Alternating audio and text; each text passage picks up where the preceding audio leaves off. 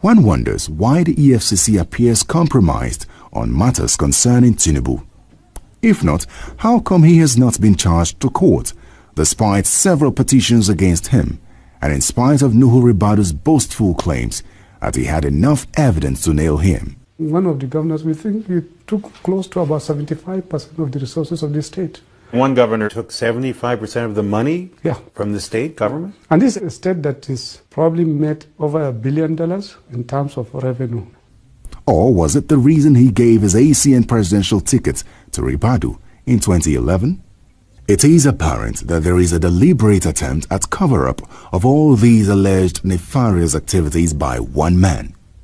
One can remember with nostalgia Tinubu's case at the Code of Conduct, but like a cat with nine lives, he still evades justice. The case against him was simple and grievous for any government